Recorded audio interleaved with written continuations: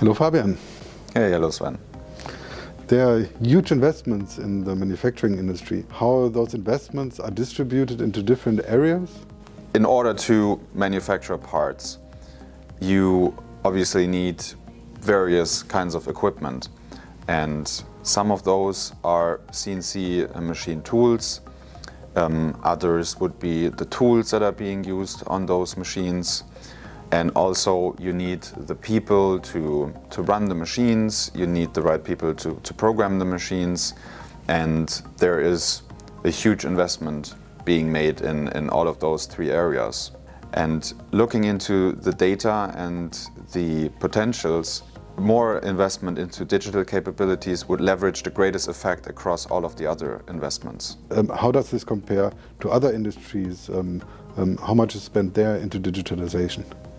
We found data that shows how the basic manufacturing actually ranks compared to other industries.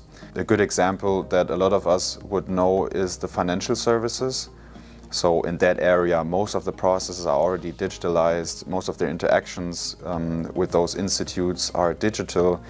And if we look at how basic manufacturing compares to that, we are just above average.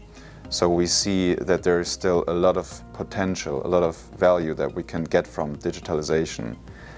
And actually there is some driving factors um, to it. So there is the rise of enabling technologies such as sensors and cloud, um, we see that global supply chains are being disrupted. We have talked about the skills gap and all of those effects, they're holding um, great value potential. So if we look at just reducing machine downtime, for example, we see that there is still a value potential of 30 to 50 percent. And we're going to talk about how we can address that.